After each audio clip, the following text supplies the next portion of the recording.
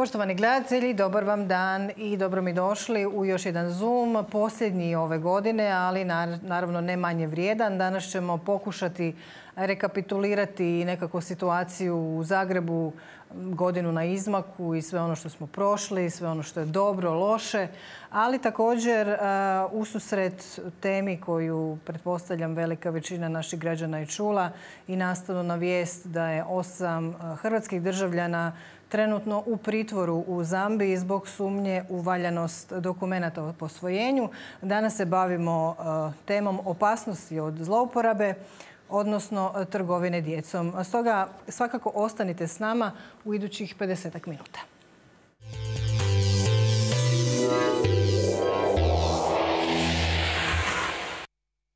Natrag smo u studiju e, kojem pozdravljam svoje goste. Danas prve poštovanje, dobro mi došli. Pozdravljam gospođu Tanju Djaković, podpredsjednicu SDP-a Zagreb i gospodina Igora Peternela, gradskog zastupnika domovinskog pokreta u Gradskoj skupštini. Dobar vam dan i dobrodošli. Dobar dan, hvala na pozivu. Lijep pozdrav vama i vašim gledateljicama i gledateljima. Hvala. Hvala vam još jednom što ste došli. Evo, kao što sam i rekla, zadnji Zoom ove godine, ali pokušat ćemo u ovih nekoliko dvadesetak minuta skupiti dojmove ove godine na izmaku. Za početak ja bih voljela da krenemo, evo, druga godišnjica od potresa. Što na to reći, osim da obnova potpunosti je zakazala, kao da i ne postoji. Čak i činjenica evo, da danas nitko od vlade, čak iz ureda predsjednika, neće, nažalost, doći tamo i okupiti se s ljudima, već će poslati nekakve državne tajnike. Evo za početak možda kratki komentar. Sjećate li se vi što ste radili prije dvije godine na ovaj dan? Da, sjećam se. Bila sam na svom radnom mjestu u Masarikovoj u jednoj staroj zgradi koja je dobro zaškripala uh, u trenutku kad je bio potres i ovaj, nije bilo baš ugodno. izmjestili smo se van, bili smo neko vrijeme i onda smo krenuli pješice i budući da prijevoza u Zagrebu nije bilo. Uh, ono što je dobro zadnjih nekoliko dana što se intenzivno govori o tome, svi mediji govori govore o tome kako je došlo do velikog kašnjenja u obnovi. Prije svega treba znati da Zagrebački potres se dogodio puno prije od ovog petrijskog, od ovog današnjeg. Međutim, svega jedna privatna zgrada je obnovljena u Zagrebu. Da, dotaknut ćemo se i teme Zagreba, ali evo čisto za početak ovaj komentar. Petrinja je, sedam osoba je stradalo. Danas smo evo čuli, imali priliku na sjednici vlade. Premijer je naravno to spomenuo. Nisu zadovoljni naravno s nekim stvarima sa, sa konstrukcijskom obnovom, s ovom nekonstrukcijskom jesu, ali mogu li uopće biti zadovoljni? Naravno da ne mogu biti zadovoljni, to je trebalo biti organizirano puno bolje, operativnije, puno bolje. E, nedostaje im e, kadrova koji mogu obraditi svu tu silinu zahtjeva. Oko 30 tisuća zahtjeva je predano za e, obnovu. A riješeno? Jedno pet. Mislim, ako konkretno uzmemo podatak da je tek šest kuća obnovljeno. Što se tiče samih zahtjeva, njih je više riješeno. Međutim, sama obnova, sami početak radova je, je vrlo spor. Znači, potpuno, možemo reći potpuno zakazao u ovom trenutku. Hoće li se to ubrzati u dogledno vrijeme vidjet ćemo. Neke promjene u zakonodavnim ovaj, e, aktima su donesene. Hoće li to pomoći e, ubrzavanju e, obnove vidjet ćemo u sljedećih nekoliko mjeseci. Gospodine Peternel, Dakle, reći ću sve ono što sam rekao i prošle godine i što sam govorio stalno i što smo mi iz oporbe govorili od početka, a to je da je zakon koji je na snazi neprovediv. E, ja sam neki dan objavio na svom Facebooku e, četiri kuće sa po četiri stana. Privatni poduzetnik je napravio u šest mjeseci, završio stanove, 16 stanova, a oni su obnovili u dvije godine pet kuća. Što znači da nemaju oni problem jednog ministra, pa drugog ministra, pa Hanžeka. Oni imaju problem da su dali neprovedivi zakon. Dakle, nemaju po tim cijenama, to očigledno, vjerojatno su se već mogli uvjeriti u dvije i pol godine, dakle niko to ne želi raditi, e, pogotovo u situaciji kad imaju stambeni bum u gradu Zagrebu, ali i općenito u Hrvatskoj, gdje se zapravo sve ono što može biti iskoristivo, dakle sve one firme, svi oni radnici koji jesu na raspolaganju, idu prema isplativijim poslovima, idu u stanogradnju, ovu situaciju. Dakle, nijedan od poduzetnika ne želi se vjerojatno uopće javljati na natječaj dok mhm. imaju posla negdje drugdje, da nemaju posla negdje drugdje. Sad velika sta, kriza u stanogradnji, onda bi vjerojatno se bili motivirani javljati na ove natječaje. Dakle, e, kriva je vlada, kriv je Andrej Plenković koji to sve vodi. Dakle, ne mogu biti sad ne valja jedan ministar, pa drugi ministar, pa ovaj, pa onaj, pa treći, pa četvrti. Činjenica je da, ne, da očigledno ne valjaju pravila, ne valja zakon, ne, ne, može se provesti obnova, a postoje, postoje novci. I sad tu je već kasni dvije godine, ljudi nemaju, ljudi nemaju gdje, e, gdje spavati, a e, i gdje živjeti, a vlada očigledno shvaća svoju krivicu i zato upravo skandalozno ne želi na godišnjicu potresa niti doći tamo i suočiti se. Da, naravno, boje se, njihov PR im je očigledno savjetovao da tamo ne dolaze jer da bi od toga mogli imati ozbiljne političke štete.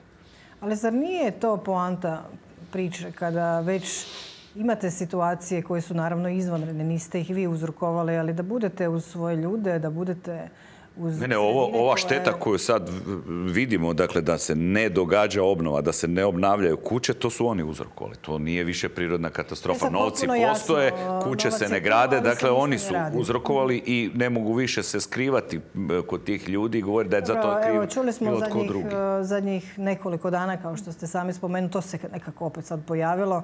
E, mi sada krajem ove godine ulazimo u tu predizbornu godinu, pa je sad i tu ima dosta materijala o kojem bi mogli razgovarati. Kao što ste sami rekli, nije stvar do ministara. Nekako mi se čini da i ministar Paladina je jednom nogom na prizlasku. Onaj tko zna dobro čitati, dakle između redova je mogao shvatiti iz intervjua gospodina Čačića dok je bio dio vladajuće koalicije, da je praktički to njemu nuđeno i da on nije za to bio zainteresiran. Jer je očigledno shvatio da će i on doživjeti debakl. Da po tim pravilima neće uspjeti ništa napraviti. A ko bi uopće prihvatio? Mislim, ne da prejudiciram sad ničiju ostavku ili slično, ali evo, iz nekakvih izjava koje smo mogli vidjeti posljednjih dana i premijera i predsjednika Sabora. Ehm, ko bi se prihvatio takvog posla? Teško je sad e, predvidjeti ko bi se prihvatio takvog posla, ali ono, vratit ću se ono, na ono što ste malo prije rekli.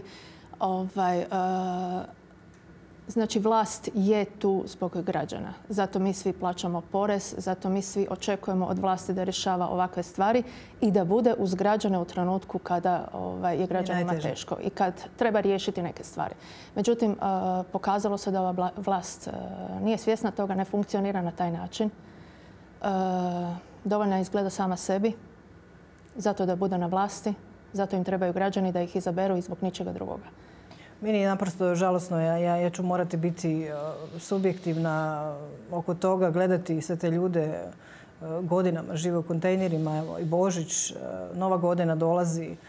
Već su svi jednom nogom, ajmo reći, na godišnjim odmorima, ali ti ljudi su i dalje tamo, bore se doista svakodnevno. To je jako teško gledati i kao prosječno građanina. Ste pet kuća koje nisu spojili, spojili na vodovod i, i završili. Pa to, to je nevjerojatno. To, Dakle, to je toliko bizarno da ne znam kako premijer uopće može e, i stati pred kamere, a kamoli doći tamo, naravno, zato i nije došao. Ali ono što ste rekli, sustav kao takav e, očito ne funkcionira, treba mijenjati, inače u suprotnom bismo već vidjeli određene pomake.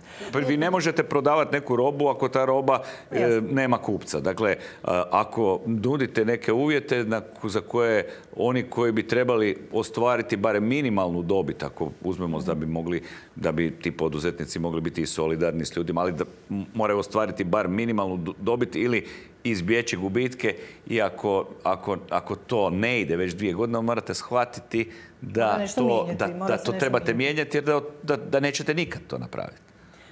Ajmo se vratiti na ovaj zagrebački potres. Naravno, svi, svi smo to proživjeli na ovakav ili onakav način i danas mnogi imaju posljedice od toga.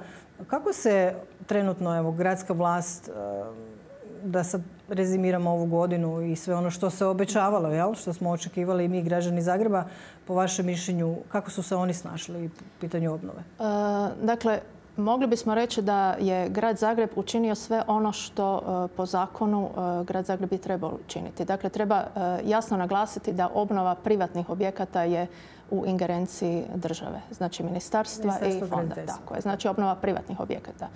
E, obnova javnih objekata u vlasništvu grada Zagreba je u ingerenciji grada. Što se tiče obnove privatnih objekata, grad Zagreb je izdvojio 160 milijuna kuna za ovaj, e, onih 20% koliko grad Zagreb treba sufinancirati taj dio. Od tih 160 milijuna kuna svega 5 milijuna kuna je potrošeno. Dakle, dakle i tu šteka. Tako je, da. da I to dosta. Da. A to je prije svega odgovornost države. Znači obnova tih privatnih objekata je odgovornost države. Jer u gradu Zagrebu imate uz sve ove probleme koje vrijede za e, Banovinu, u gradu Zagrebu još imate dodatni problem, e, a to su konzervatori koji e, kojih očigledno ima malo koji maksimalno, ajmo reći, zaštopavaju taj lanac e, i onda imate na kraju to što imate. Dakle, imate sve probleme koje ima i Banovina, plus konzervatore u gradu Zagrebu i specifičnost područja, promet i sve to skupa gdje će ljudi iseljavati. To su dakle, kao izlike. mislim, to je, to je realnost. To je realnost. I to, kad sve to skupa zbrojite i oduzmete, dobijete na terenu ovo što imate. A to znači nemate ništa.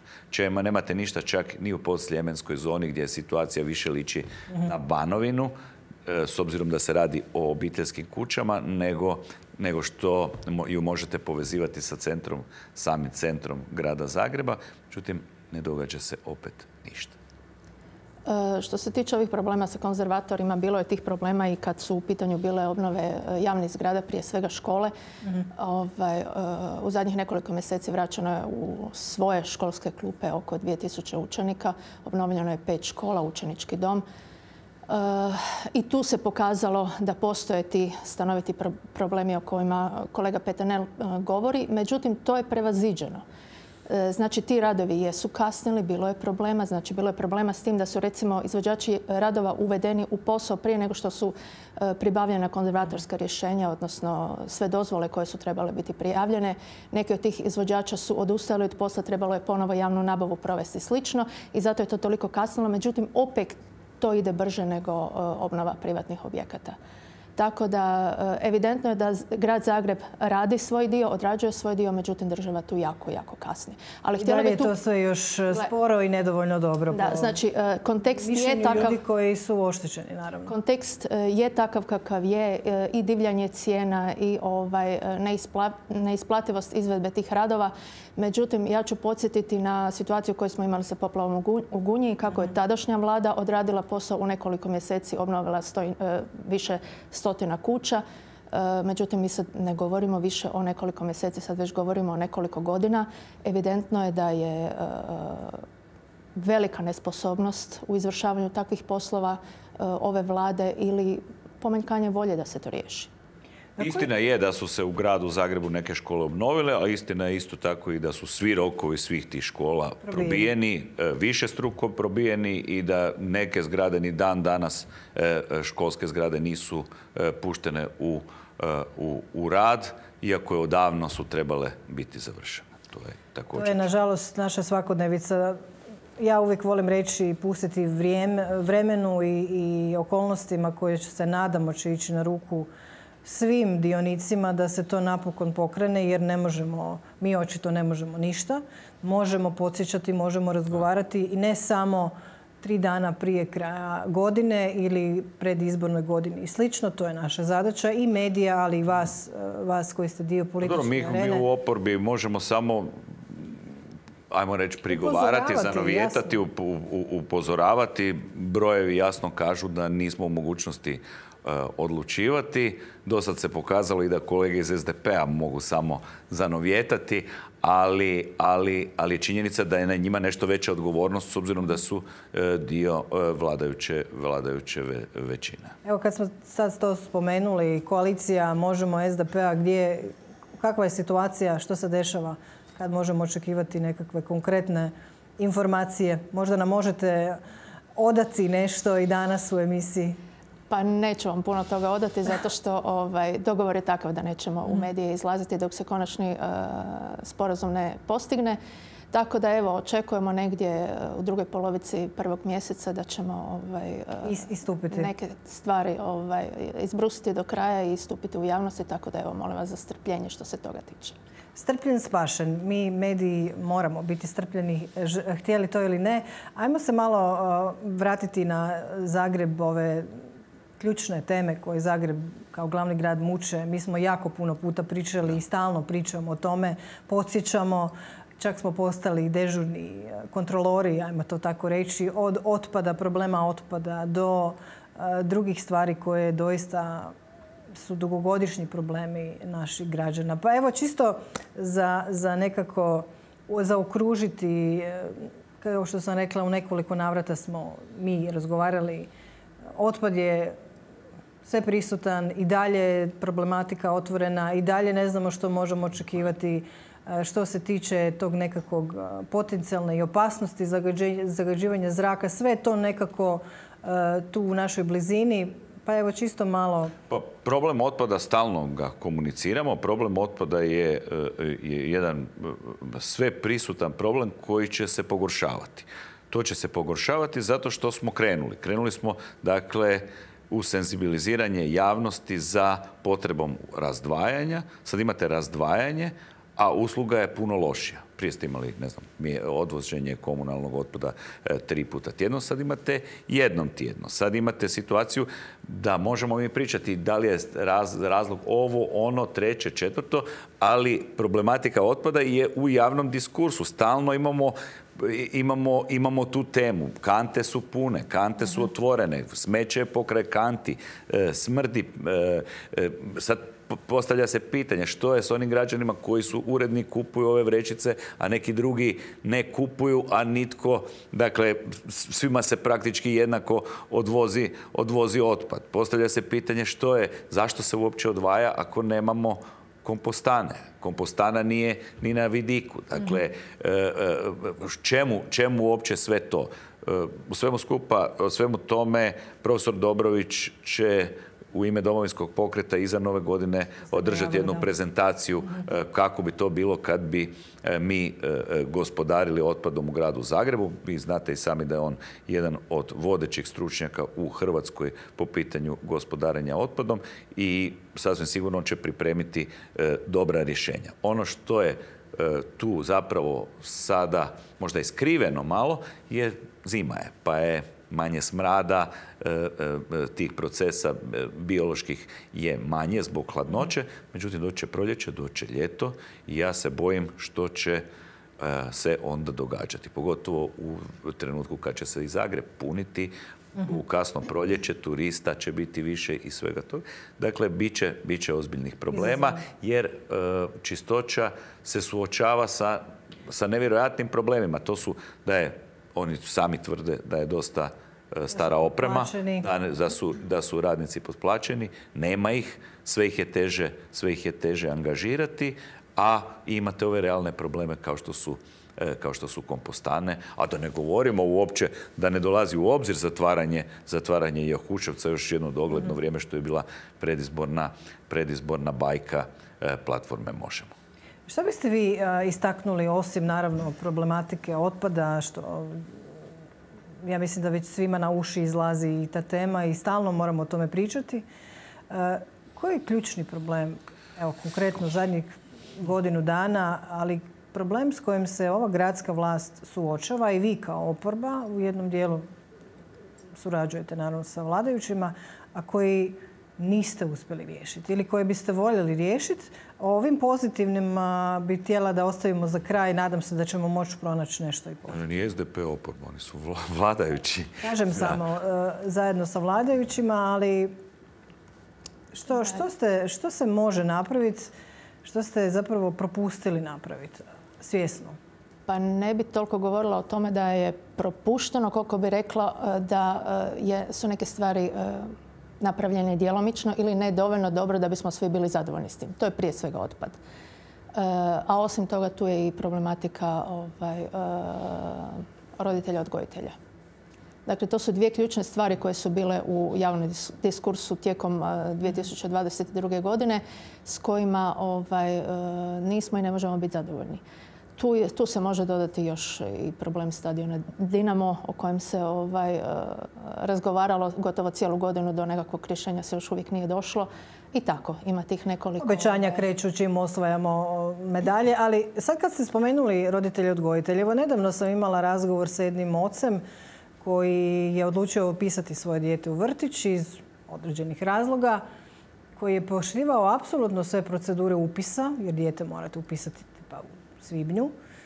I on je sada u poziciji gdje on ne može upisati svoje dijete u vrtić, e, radi kao i supruga. E, što jako puno je takvih slučajeva. Dakle, kad stavimo ovu mjeru roditelj-odgojitelj i dalje imamo problem jako puno neupisane djece u vrtiće, na koji način grad mora, mora donijeti rješenje za to? Da, to je problem koji ovaj, nije nastao sada, nije nastao ove godine. To je problem koji se vuče godinama. E, gradska vlast e, intenzivno radi na tome da se taj problem riješi. Dakle, cilj gradske vlasti je da se e, vrtički kapaciteti osiguraju za svu djecu do kraja mandata.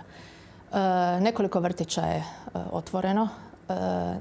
U planu je E, za sljedeću godinu isto tako izgradnja nekoliko vrtića, tako da intenzivno će se raditi na izgradnji novih i na dogradnji postojećih vrtića, e, tako da se ti kapaciteti povećavaju. 40 vrtičkih grupa je povećani kapacitet e, jeseni ove godine, međutim to i dalje nije dostatno jer se taj dio jednostavno zanemarivao godinama, mogli bismo reći desetljećima. Bojim se da puno roditelja nema više opciju čekanja kraja mandata.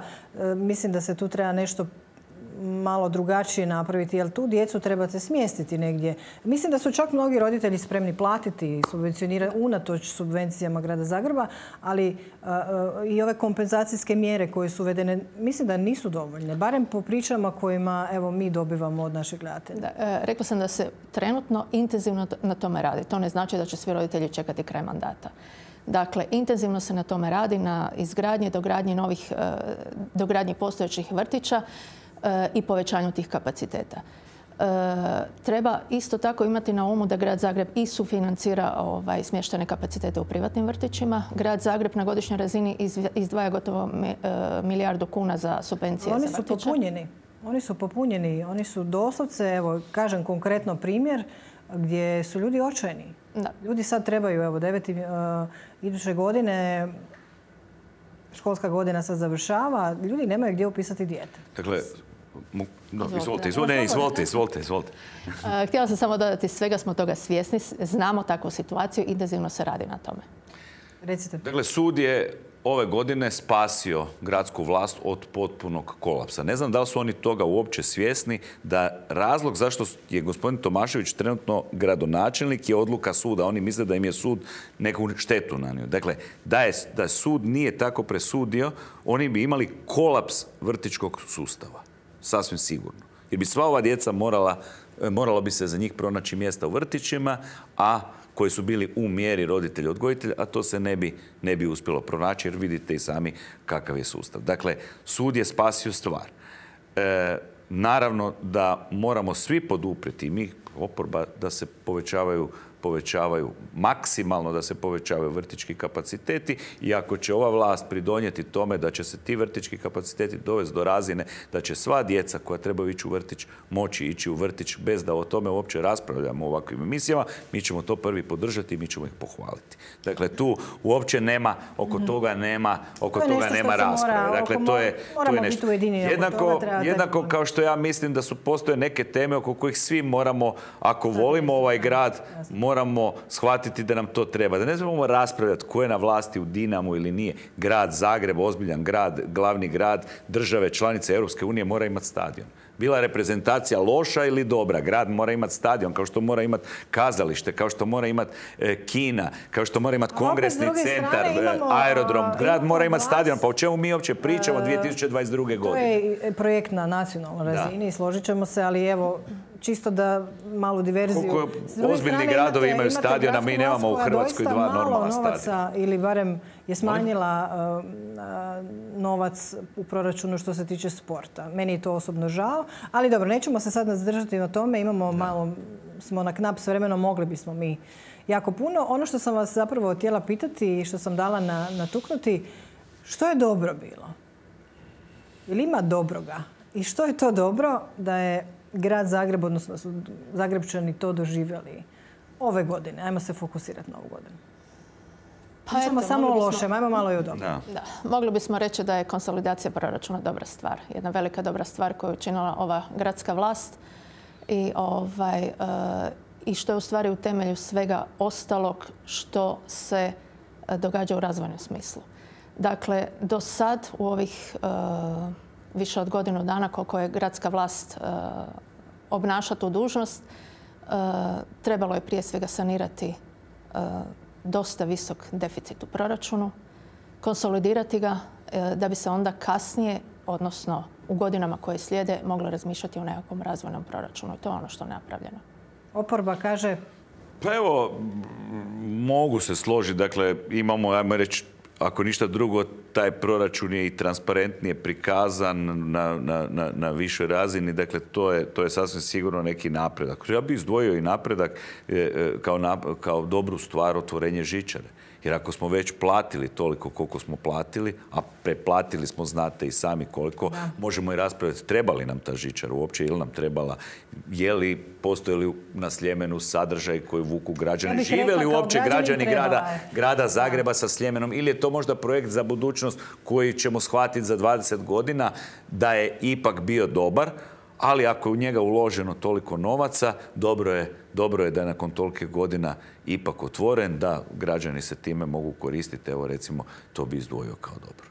E, obzirom da nam je doslovce ostalo minutica do kraja, ja bih htjela da, kad vas sad već imamo u studiju, prokomentiramo ovaj slučaj što se dogodio oko Božića, uhićenja četiri e, hrvatske obitelji koje su pokušale posvojiti djecu u Zambiji i cijela ova situacija meni osobno kao i gledatelju i roditelju i svim nekakvim e, informacijama koje već sad lagano dobivamo iz medija, nekako je dosta neobična ta situacija pokušaja potencijalnog zlouporabe. Naime, pričamo o potencijalnoj potencijalnom slučaju kupnje, odnosno prodaje djece ili trgovine ljudima.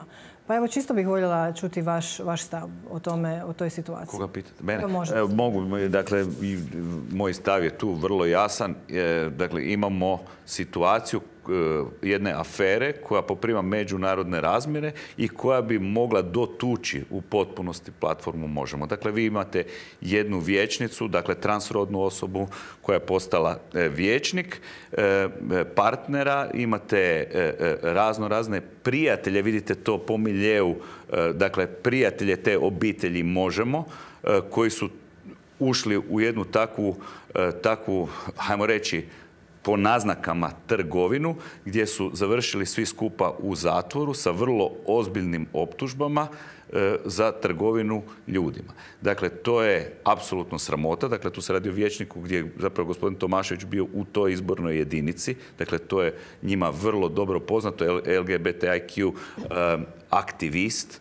E, dakle, radi se o ljudima koji nisu benigni, u tom smislu nekakvog društvenog pojavljivanja, već o ljudima koji su vrlo dobro e, poznati u samoj grupaciji Možemo i koji su zapravo prekršili sve one, ako se pokaže to istinitim, prekršili su sve konvencije ljudskih prava, čak i zakona koji vrijede u Republici Hrvatskoj i u Europskoj uniji oko posvajanja. Jer ako gledamo koliko su te osobe, e, koja je njihova starosna dob, onda ćete vidjeti da su to osobe e, koje zapravo više zakonski ni ne zadovoljavaju uvjete za posvajanje u Republici Hrvatskoj. Dakle, to je sve vrlo problematično i vrlo je simptomatično da mainstream mediji, svi oni koji su bili veliki zagovaratelji platforme Možemo da ovo ne otvaraju. Probajte si zamisliti što bi bilo da bilo koja druga grupacija, dakle ne mora to biti domovinski pokret, HDZ, SDP, tako svejedno,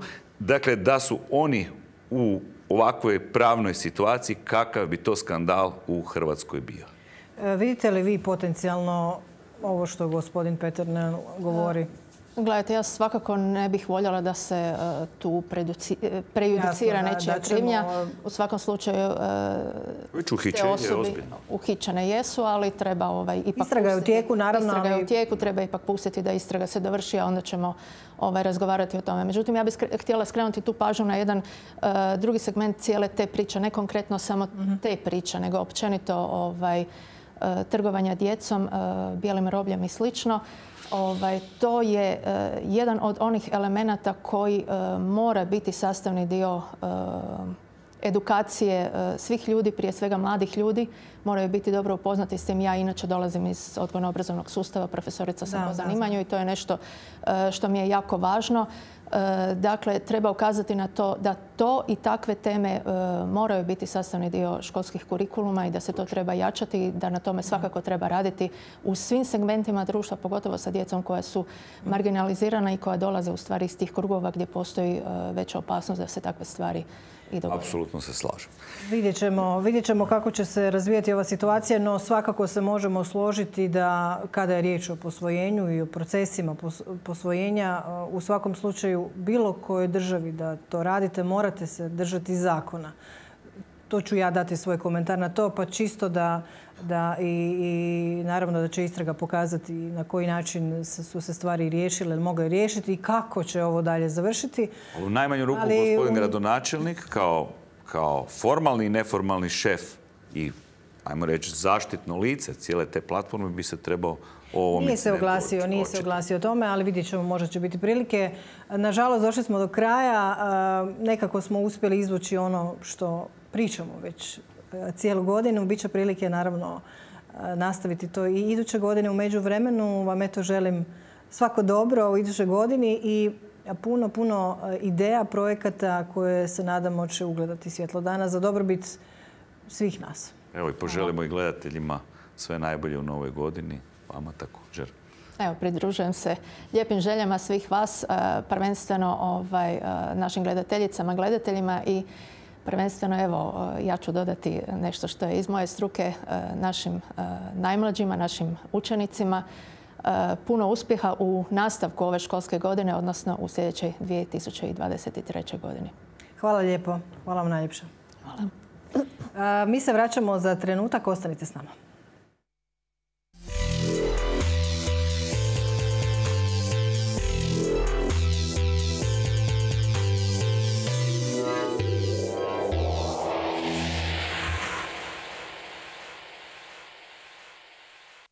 A donosimo i jednu znakovitu novost. Dakle, prvo dnevnik ne počinje u četvrtak u 9.05, već u 9.10.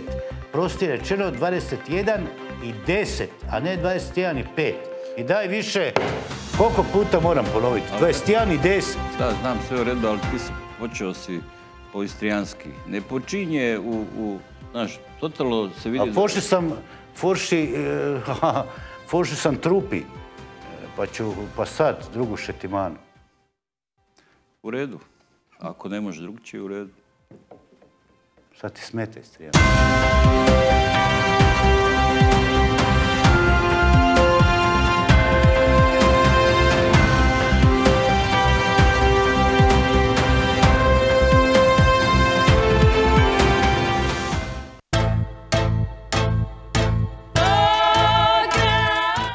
vidiše mi tri ušli v kompanijo i bi bili kak ti kompanjoni. Na kraju bi se na jednake dele delili. Vi bi bili vište tak kak ti djelatniki moderni. E, A mi više menadžeri. Za turizem. Za vinario. Za vinario. Za nas. Za nas. Za milione.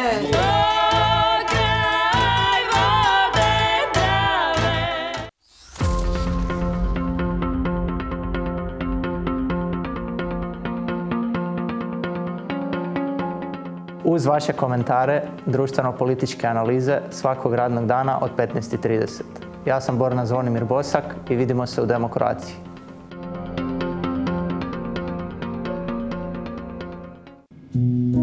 Iza ovih vrata živi Mija. Umjesto u školi ili na igralištu, ove dane provodi u zatvorenom. No Min se život razlikuje od života njezinih prijatelja. Jer Mija je zatvorena sa zlostavljačem. Prepoznaj mi u svom ulazu i nazovi 192. Svaki poziv može pomoći.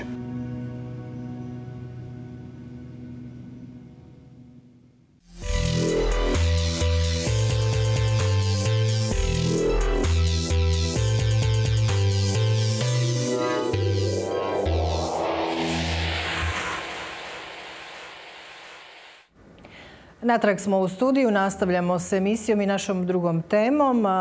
Kao što ste, pretpostavljam, i sami vidjeli u zadnjih nekoliko dana po medijima, kako je policija u Zambiji, evo, konkretno danas objavila identitete uhićena četiri hrvatska para zbog sumnji tamošnjih vlasti da su trgovali ljudima nakon što su parovi tamo stigli kako bi posvojili četvoro djece.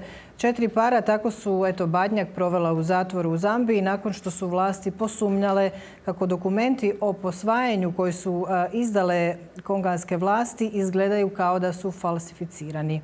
Naime, vlasti Zambije ovaj slučaj tretiraju kao međunarodni organizirani kriminal, a prema amandmanu na kazneni zakon iz 2005. godine trgovina djecom je u toj južnoafričkoj državi E, izjednačena je s najtežim e, zločinima i za nju je predviđena kazna od 20 godina zatvora do doživotne. Više o ovom konkretnom slučaju, ali i o samoj problematici posvojenja razgovaram danas sa svojom gošćom u studiju koju srdačno pozdravljam. Gospođa Dubravka Marušić, diplomirani defektolog, socijalni pedagog i izvršna direktorica udruge Adopta, udruge za potporu posvajanju. Gospođo Marušić, dobar vam dan i dobro mi došli. Dobar dan, e, još bolje vas našla. Pozdrav vama i vašim gledateljima. Evo, krenut ćemo s ovim konkretnim slučajem. Danas ili neki dan policija u Zambiji je objavila identitete, sada već znamo o kojim se ljudima radi. Kao što sam i napomenula, četiri para došli su u Zambiju posvojiti dijete koji su imali hrvatske putovnice, spremni za izlazak iz zemlje, gdje ih naravno lokalne vlasti spričavaju i evo čeka se trenutno i optužnica uh, trgovanja djecom. Uh, samo po sebi zvuči dosta zabrinjavajuće, posebice što je riječ o hrvatskim uh, državljanima, ali s druge strane i samoj tematici posvajanja, pogotovo na međunarodnoj nekakvoj sceni. Ovaj slučaj konkretno možda ne bi bio toliko interesantan da nije doista riječ o četiri para koja su zajedno išla posvojiti. Ja moram priznati da nisam baš čula za slučajeve da se to nekako u parovima radi. To je jedna stvar. Druga stvar, sad govorimo o nekim ono, stvarima koje već isplivavaju lagano u javnost, pa pokušavamo biti što objektivniji. Međutim, same optužbe su dovoljno, dovoljno ozbiljne i, i zastrašujuće da bismo mi sad već razgovarali ne o posvojenju, već o dosudce trgovini ljudima, u ovom slučaju trgovini djecom. Da, kako to izgleda iz pozicije hrvatskih zakona, ja bih se prvo svrnula na ovo objavljivanje identiteta mhm. počinitelja.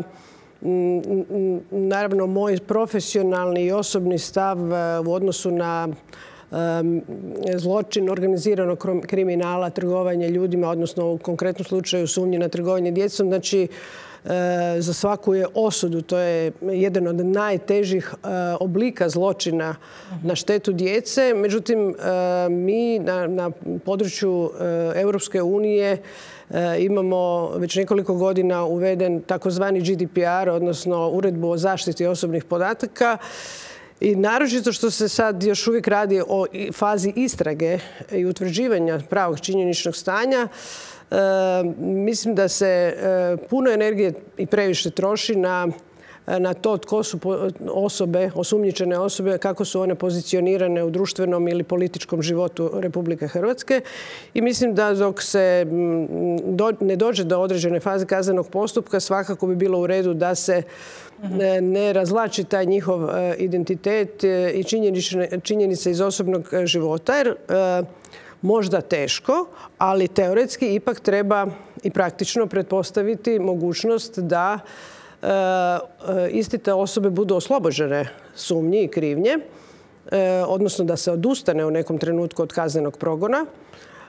I ali krenemo od toga da su zambijske vlasti objavile identitet. Je, je, svačam ja to. Samo kažem, na, teritoriju Republike Hrvatske, u, u našem medijskom prostoru se pojavljuju i prenose taj identitet. Ja ne kažem da je to trebalo tajiti. Da, sada nismo imali takve slučajeve i kada, kada se tako nešto dogodi, naravno da privuče pozornost hrvatskih građana, a posebice ako doznamo da su ti određeni ljudi na neki način povezani u nekim institucijama, nekakvim državnim tijelima koje zapravo se onda zapitamo da li su ti ljudi, jer to su visoko obrazovani ljudi, mhm. odrasli mhm. ljudi, mhm. pa se nekako počinjete zapitati. Ja ću naravno biti vrlo objektivna po tom pitanju, ali kada uzmemo u obzir i godine, sada već znamo ko su ti ljudi, koliko ti ljudi imaju godina, gdje rade, nekako se da doista moramo zapitati jesu li, evo, po vašem mišljenju, e, mogli biti toliko naivni i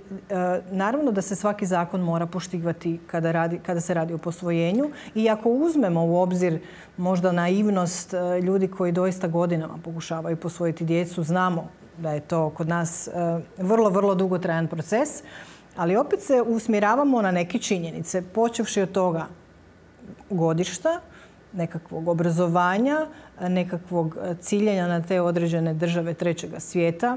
Jako puno je djece u svijetu koje možete, naravno, putem procesa posvojiti. Naravno da moramo dati presumciju nevinosti e, svemu ovome što se dešava, ali ovo su sad već ozbiljne optužbe. Je. ovo je sad već jedan korak malo više i zato je to nama E, ne samo građanima, ali medijima, e, vrlo, vrlo interesantno. Da, i mislim da je s pravom interesantno i tu se potpuno slažem i sa ovom vašom objekcijom da su oni istovremeno putovali svi četvero zajedno. Naravno, te, te okolnosti ćemo još detaljnije čuti. Zašto je to tako? E, malo bi se osvrnula i, i, mislim da je važno progovoriti o kompletnom posvojenju kao jednom obliku pružanja prilike djeci da dobiju svoje roditelje, da dobiju nekakvu trajnu obiteljsku skrb i ljubav. I u tom smislu je važno građanima naglasiti kako to inače treba izgledati i možda progovoriti o mogućim motivima Zašto primjerice hrvatski građani e, odluče e, potražiti svoju obiteljsku sreću, da tako kažem, u trećim državama, državama trećeg, trećeg, svijeta, kako ste rekli. E, I možda to u nekom dijelu bi se moglo okarakterizirati kao naivnost. Međutim, ono što smo mi adopti nekako sumirali, rezimirali kao, kao moguće motive koje smo e, prepoznali iz e, kontakata sa brojnim posvojiteljima. Moram reći, kao, kad kažem brojnim posvojiteljima, znači Adopta već godinama provodi jednu fazu postupka, to je edukacija posvojitelja kao obavezan dio pripreme za posvojenje i mi smo do sad odradili 36 ciklusa te edukacije u kojem nam je sudjelovalo više od 550 potencijalnih posvojitelja. Kad ste to spomenuli, evo baš me zanima, konkretno kad je riječ o tim zemljama trećega svijeta. Evo sad se, ajde stavit ću sad ovaj, ovaj slučaj. Kao što ste rekli, edukacija je jako bitna i svaki roditelj naravno koji ulazi u taj proces se mora upoznati sa svim mora detaljima. Znati što radi. dakle, ne možete, ali ovo nekako ispada kao da ste došli, platili i kupili dijete. Znači, to je ta krajnost koja nas sve zapravo da, zato sam... je zapanjujuća. To su te činjenice koje mi sad trenutno imamo. A s druge strane, se zapitate, evo imate imate hrvatske građane koji su dojavom prijavljeni mhm. u, toj zemlji. Mhm gdje su djeca već imala hrvatske putovnice mhm. sa hrvatskim imenom. Kako je to moguće? Da. E, zaista mi je to teško ovoga, ići do te razine da, da objasnim ja pretpostavljam da su educirani. Da. Ljudi koji su prolaze to godinama. Dakle, Možemo shvatiti taj, taj dio. Čisto da nekakav uh, hodogram, tu neke korake, e, kažem naravno i vama, a još važnije građanima, a još važnije onim građanima koji su u, na putu posvojenja. Znači, E, vezano i za naivnost i za pristup i stav, na način na koji to je užasno važno za naglasiti, što se e, otprilike odvija u glavama e, ljudi. Neovisno čak i o dobi, njihovoj dobi i o razini obrazovano, stečenog ranijeg formalnog obrazovanja.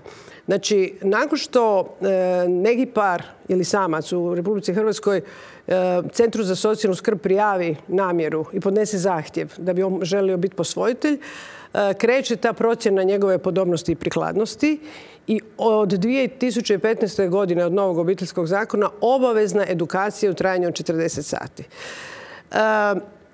Mi provodimo, kažem vam, već 7-8 godina tu edukaciju i ono što je e, najuočljivije kod, e, generalno kod e, cijele posvojiteljske populacije, vođenje emocijama i silnom željom za roditeljom.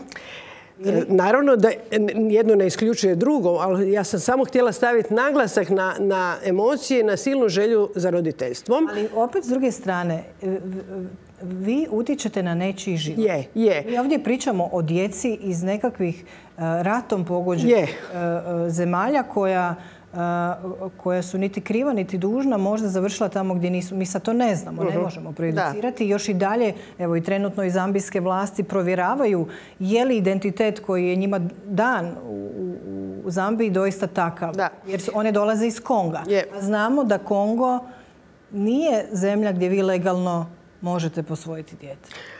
Ok, recimo Kongo nije zemlja, barem ne ovaj Kongo nije zemlja koja je e, ugovornica takozvane Haške, Haške konvencije, e, kako je skraćeno zovemo konvencije koja mhm. regulira međunarodno posvojenje. I ono što sam htjela reći kod emocija, jako mi je važno da to istaknem, e, vi vidite kroz dva mjeseca koliko ukupno traje ta edukacija jedan, jedan proces transformacije gdje ljudi poslaguju i svoje stavove i emocije i onda se dogodi da oni dobiju certifikat da su završili tu školu, završi se psihološka i timska obrada u Centru za socijalnu skrb i kad se to završi i ako je ta mišljenje pozitivno, Centar za socijalnu skrb te ljude upisuju u registar potencijalnih posvojitelja.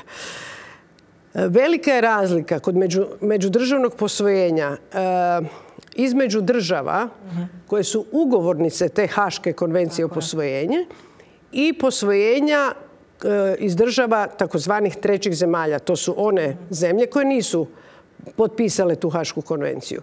Zašto je ta Haška konvencija važna? To je važno da građani čuju. Važna je zato što ona, tako se zove konvencija o zaštiti i suradnji u e, međudržavnom posvojenju, zato što je ona 1993. kad je donesena e, se odlučilo zaštititi djecu upravo od trgovanja e, ljudima, od krađe, od otmice i sličnih zloupotreba koje se događaju. E sad, ljudi čekaju godinama nekada na posvojenje u Republici Hrvatskoj. Malo prije sam htjela pobrojati te potencijalne motive koje smo mi prepoznali. Nećemo imati, znači, nažalost, vremena. Puno je, tema je koja zahtjeva doista veću minutažu. nažalost, pri kraju smo s vremenom. Ali ja bih čisto htjela evo, da, da sumiramo. Biće prilike razgovarati o toj problematici. Kao što ste rekli, u Hrvatskoj je to nekad barem po nekakvom mom osobnom iskustvu i, i, poznajem dosta ljudi koji su posvojili djecu je nekad mišljeni, ono, misija nemoguća jako je sporo, neučinkovito i ne čudi što se naši građani odlučuju. Međutim, ovo je sad konkretan potencijalan veliki problem. Što će se dogoditi, naravno, ostajemo, ostaje za vidjeti što će zambijske vlasti odlučiti. Još uvijek traje provjeravanje i identiteta i, i samih tih dokumenata i jesu li oni falsificirani ili ne.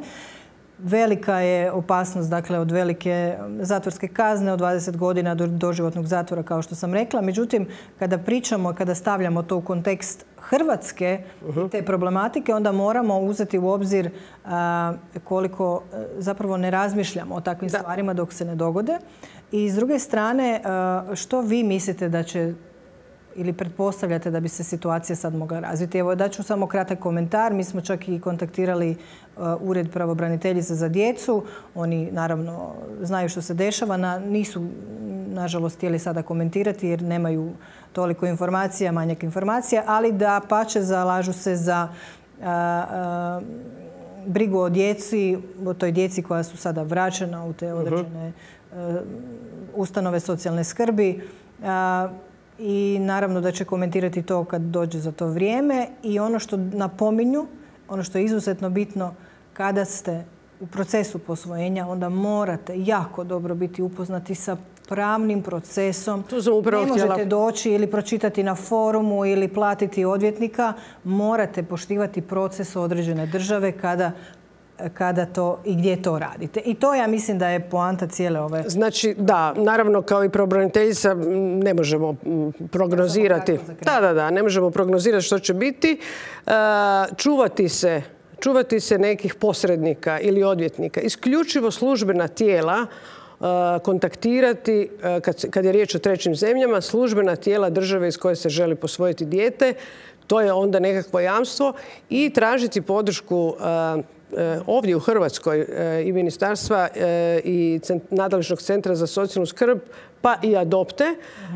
Rađe još deset puta tražiti savjet prije nego što se dogodi taj korak. I iskoristila bih priliku, mislim da je ovo našoj zemlji nekako na neugodan način poticaj da malo dodatno uredimo područje. Da dodatno uredimo područje i da možda razmislimo o osnivanju nekog tijela koje bi se cjelovito bavilo međudržavnim posvojenjem, a i samim posvojenjem, jer mislim da trenutno se, ministarstvo se samo bavi, ne, bavi se samo posvojenjima međunarodnim kad je u pitanju posvojenje po Haškoj konvenciji, ali ne i kad su treće zemlje u pitanju. Jel? Nažalost, došli smo do kraja. Biće prilike o ovome sigurno razgovarati. Gospođo Marušić, ja vam se zahvaljujem i naravno svako dobro u novoj godini. Hvala također. E, hvala i vama, dragi gledatelji. Nažalost, evo, došli smo, brzo nam je vrijeme prošlo, došli smo do kraja emisije. E, ja ću vam se lijepo zahvaliti za ovu godinu. Mi se vidimo iduće godine. U međuvremenu želim vam da se dobro odmorite, zabavite i naravno e, napravite taj popis želja koji ste odavno željeli napraviti i krenite ih ostvarivati. Doviđenja.